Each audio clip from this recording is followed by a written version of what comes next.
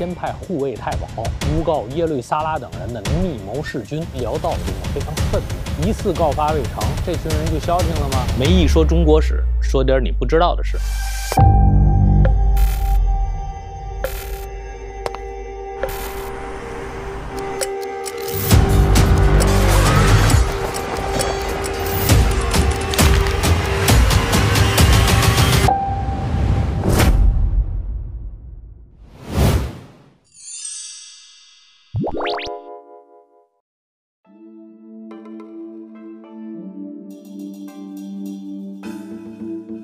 我小的时候呢，也经常听大人说一句话，叫“玩物丧志”。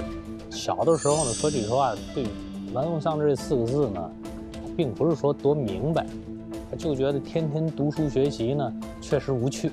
哎，经常也是偷偷的玩耍，免不了呢啊，最终结果是一顿鸡飞狗跳，挨打呀。后来我长大了，哎，这人逐渐成熟。也慢慢就懂得，啊，凡事一定有得有个度。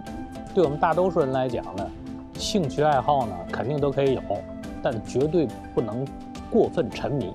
啊，你可以适当的点缀生活，你才能呢享受这种兴趣和美好。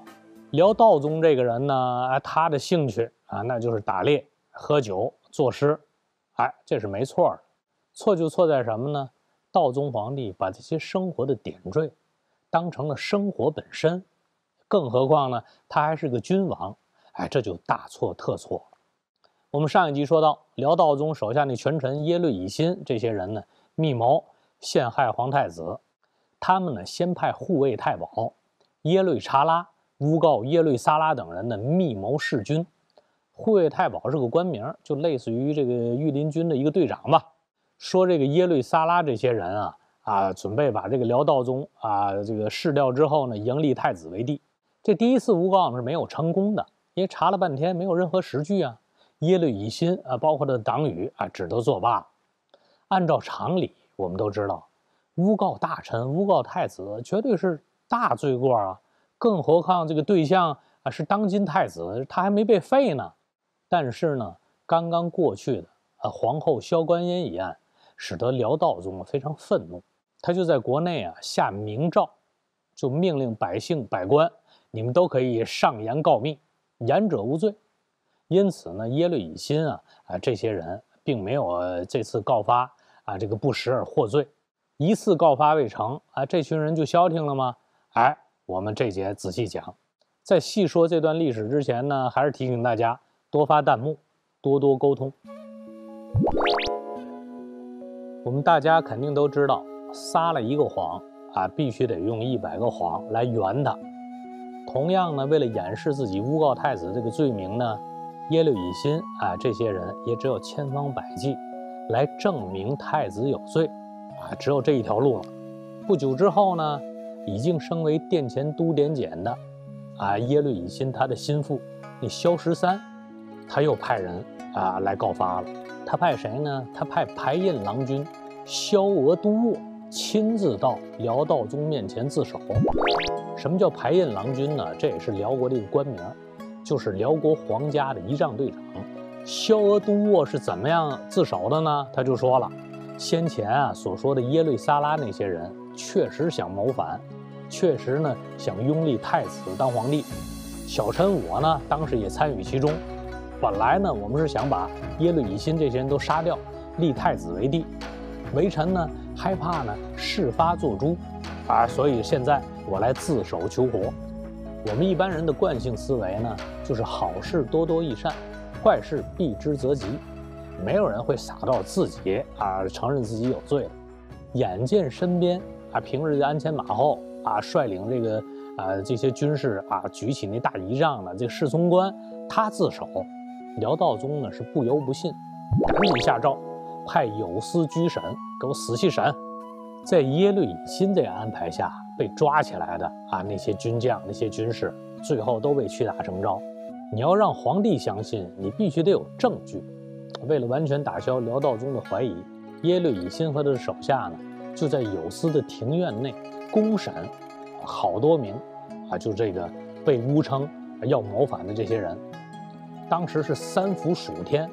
啊，那些被抓起来的人五花大绑，然后呢，脖子上又扛着超重的枷锁，身后呢不停地有卫士用细绳勒住这些人的脖子，啊，每次都勒到这犯人快窒息的时候又松开，啊，一天好多次。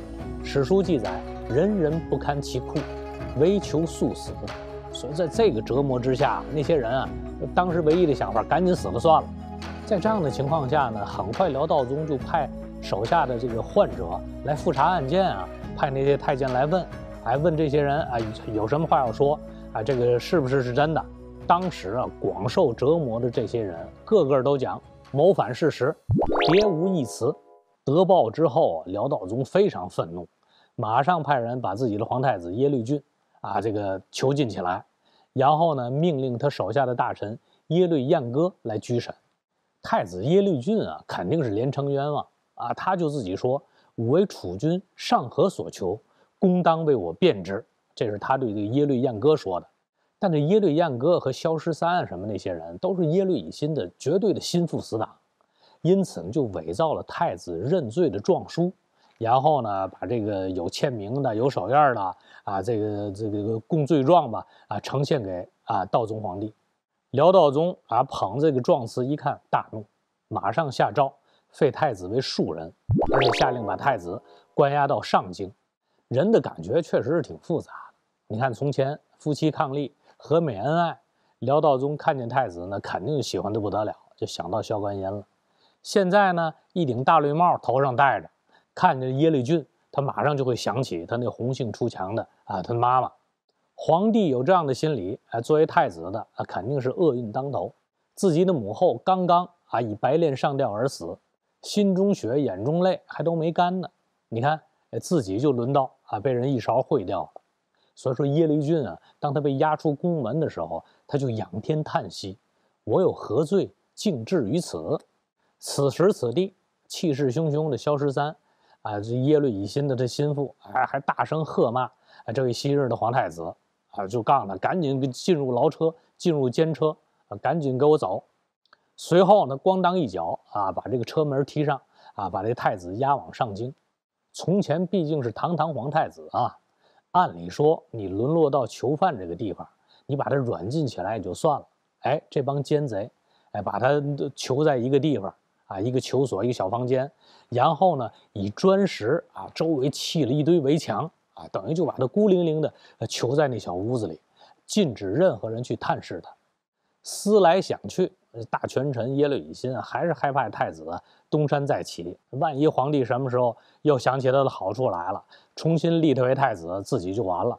于是呢，就派两个壮士潜入囚所，把当时这个年轻的皇太子就活活给掐死。耶律俊被掐死的时候呢，年仅二十岁。这两个人把皇太子掐死之后呢，为了向耶律乙辛啊复命，还用快刀把太子的首级割下来，装在匣子里，星夜驰回，哎，呈现给耶律乙辛看啊，验看，领取封赏。皇太子耶律俊被杀之后呢，啊，留守上京的这个官员啊叫萧踏德，他也是耶律乙辛的死党。然后呢，他就写份报告给辽道宗。就说太子啊因病而死了，病死了。辽道宗听见儿子死讯，哎，当时也是悲从中来。毕竟想起昔日父子亲密之情，下诏命太子妃呢啊返京。啊，就说你现在儿子死了，让儿媳妇回来吧。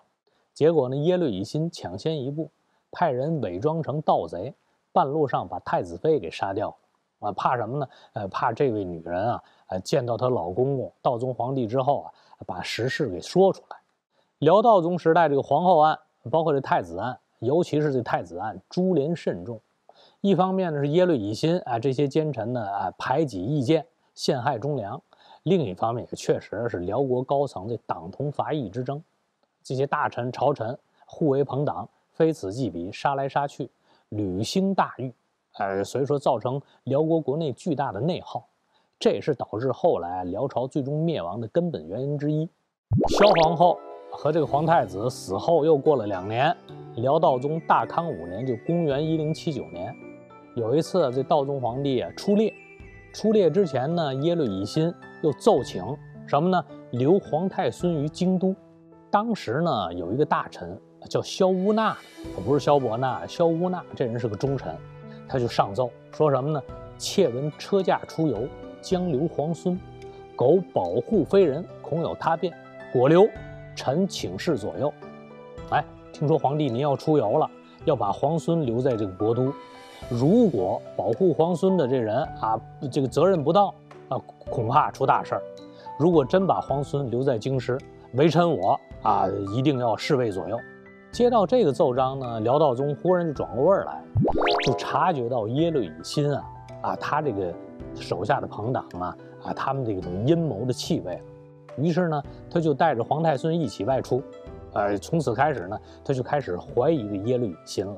那这个皇太孙是谁呢？那就是先前被杀死的、被害死的皇太子耶律俊的儿子。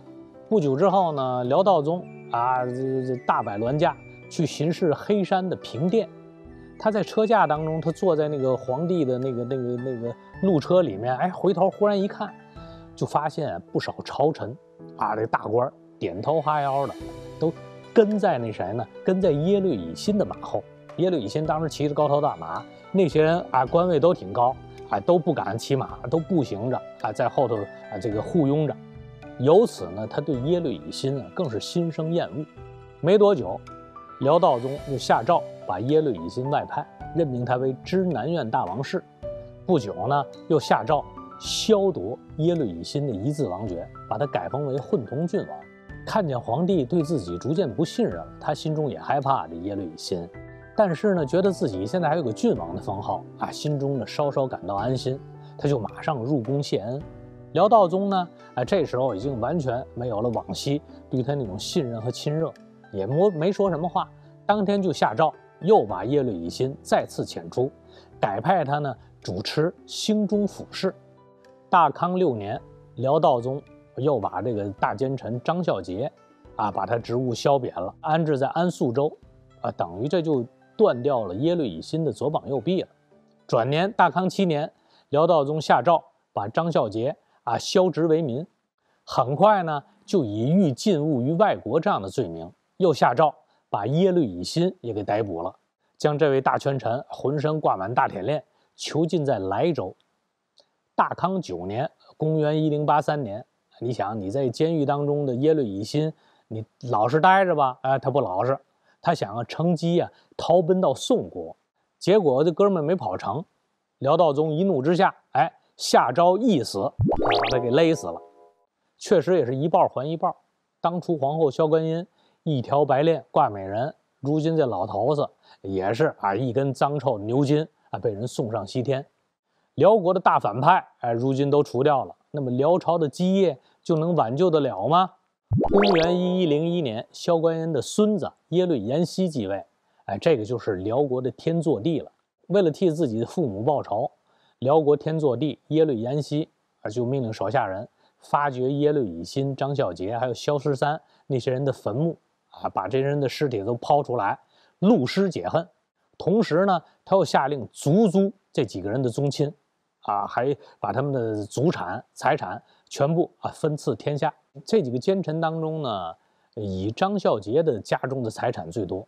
啊，他活着的时候啊，有一次他和亲戚喝酒作乐，还说五百万两黄金不足为宰相家。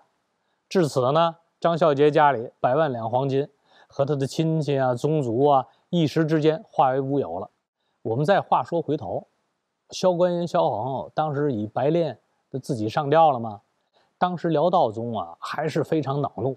啊，这老婆死了，啊，他还怒，毕竟他给自己戴绿帽子了，因此就让人把萧观音的尸体扒个精光，随便裹个这个草席啊，随便就给埋了。天祚帝耶律延禧继位之后呢，一方面啊，他把从前诬害自己父亲的啊，包括诬害自己奶奶这几个大臣都给族诛了；另一方面呢，又把奶奶的尸体给刨出来了，重新洗沐装裹，穿上皇后的衣饰。然后呢，以宣德皇后的名号，把奶奶和他爷爷辽道宗合葬在一块儿了。再到后来，辽朝被金军攻灭了。呃，金军啊非常凶猛，他们对辽朝契丹人怀有深刻的民族仇恨。金国兵马攻灭辽国之后，是大毁京城，把辽国的皇族陵寝全部给挖空了。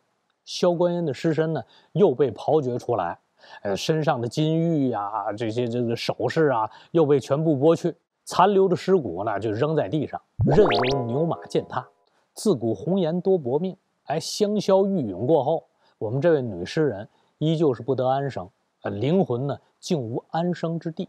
到了清朝，风流倜傥的那王孙纳兰性德啊，对这个萧观音萧皇后呢惺惺相惜，还做过一首词啊，来来追念萧观音。这词怎么写呢？六宫佳丽谁曾见？层台上临芳主，一径空盈。鸳鸯佛破白屏去，看胭脂汀溪，几堆尘土，只有花林。晚风深夜雨。萧观音皇后啊，她的丈夫辽道宗耶律洪基呢，一零五五年继位，在位四十六年，她到一一零一年啊才驾崩，啊死年呢七十岁。如果辽道宗呢是个锐意治国的，啊，像辽圣宗那样的好皇帝呢，他活到古稀之年呢，肯定是辽王朝的福分。但辽道宗这个人在位日久，沉湎酒色，哎，虽然说这个人在写诗啊、写作，哎，这方面有那么几下子，但真正的文治武功都不及格。特别是在他统治后期，皇后案啊、太子案，株连甚众，啊，许多大臣呢，呃，都被戮死，从根本上就动摇了。这个辽朝的元气，辽道宗死后，他那孙子，时年二十六岁的耶律延禧，这个人继位之后呢，估计呀也是承袭了他爷爷奶奶那种显性遗传，他既像萧观音那样啊能歌善诗，又像爷爷耶律洪基那样的酷爱打猎，鱼色不移。现在呢，河北张家口坝上地区啊，有一个安国里闹旅游区，啊，梅老师也去过，这地方在辽朝时候啊。它的地名叫什么？叫鸳鸯坡。实际上，安固里闹在蒙文当中的原意也是鸳鸯湖的意思。这地方在当时是辽国帝王最喜欢游猎的地方。当时那鸳鸯坡啊，美丽啊，像仙境一般，湖水充盛，草原广阔，走兽成群，飞禽四集。而且当时那环境啊，还没有就是近年来这垦荒啊遭到破坏。现在在安固里闹旅游区一看就挺壮观的。但是当时辽朝那鸳鸯坡，当时那情景比现在要壮观一百倍。根据辽史记载啊，就这个地方鸳鸯坡这个地方，天祚帝耶律延禧他在位的时期就带领大队人马来过七次，啊，纳博游猎。契丹语的纳博啊，也就是行营的意思，就是说皇帝在王都之间往来巡视，啊，除了这个游猎取乐之外呢，啊，同时还处理政务。辽朝天祚帝耶律延禧呢，他身上那种游牧民族的天性啊是很难改的，特别喜欢打鱼射猎。当时这鸳鸯坡啊，这个湖呢广八十里，水面上飞禽无数。天祚帝每次到这里来，就派他手下那些卫士啊，就敲鼓惊吓飞禽。等到湖面上方天空啊飞满了啊天鹅啊那些禽鸟的时候呢，他就会亲自纵放一种呢呃猛禽。这猛禽叫什么？叫海东青。海东青是一种隼类的猛禽，啊，能够呢人工呢呃饲养啊训练，放飞之后，这种猛禽是直飞霄汉，搜寻到目标之后，它会像箭一般直落下来，以它那利喙啊着落天鹅，一下着落天鹅那个头顶，那天鹅一下就死了啊掉了下来。看到天鹅落下，辽国皇帝就会命他左右的卫士蜂拥而前。手执尖锐的那个刺鹅锥一阵乱捅，而后呢，皇帝卫士当中第一个割下额头的人，那肯定皇帝会赐给他丰厚的赏赐。这皇帝本人呢，啊，也会与民同乐，大摆头额宴，啊，宴请诸位的成功，啊，还有他手下的一些将士。好玩归好玩，但谁也不曾想，啊，那爪白体健那大鸟海东青，正是辽国灭亡的勾命鸟。海东青呢，当时在辽国本部并不出产，它是在当时的女真部落出产。深受辽国契丹人盘剥的女真人啊，每年都要大量进献上好的海东青作为贡品，而所贡的辽国使臣呢，啊，他叫银牌天使了。这些人经常是凶横残暴，他们以皇家使者的身份到处啊搜刮勒索，强买强卖。淫人妻女，看见女真人就一顿乱敲乱打，哎，还把这种行为呢，他自己还找乐，称之为什么叫打女真。日积月累，女真人啊心中那种仇恨的怒火就越积越广，越积越深。公元一一二年，就是辽国的天庆二年啊二月，天祚帝呢大老远游幸到混同江啊那里去钓鱼玩耍。混同江就是今天的松花江。按照辽朝的礼制呢，皇帝到了，呃，四周各部落那些酋长啊，这个时候都要过来拜会啊这位大朝天子。酒宴之间呢，天祚帝耶律延禧喝得挺高兴，就命令各位酋长头人挨个你给我起来跳舞，给我助兴。哎。偏偏在座有个生女真酋长，叫完颜阿骨达的，一脸沉静，推辞不能。哦，我不会跳舞。我们要知道，完颜阿骨达这种举动，比起现在老板劝员工喝酒你不喝，比那后果严重的多了。大皇帝让一个小蛮酋跳舞取乐，这天大的面子。哎，这个完颜阿骨达竟敢说他自己不会跳，绝对是找死。当时当地天作帝耶律延禧，他那酒劲儿再高一点，或者再低一点。一恼一怒一挥手，弯阿骨达脑袋肯定在十秒之内就会搬家。可是呢，哎，估计当时天作帝大老远来游玩，一路上心情不错，看见这黑乎乎的傻大个儿，一脸憨直，哎，也就挥挥手算了，哎，不跳就不跳，不缺你一个。这下倒好，对于辽朝来讲，不仅仅是养虎一患，简直就是留了一个自己王朝的掘墓人，让他活着了。历史啊，有时就是当时大人物心血来潮那种偶然性创造出来的，电光石火，一念之差，就可以更改整个世界的历史进程。辽国的天祚帝啊，当时没杀啊这个完颜阿骨达。那么在公元幺幺幺四年冬天，完颜阿骨达啊召集周围的女真部落，以区区两千五百兵马，一举攻下辽国的宁江州，也就是今天吉林的扶余。不久呢。女真兵马又在出河店这个地方大破辽国一万多正规军。出河店呢，在今天黑龙江的肇源。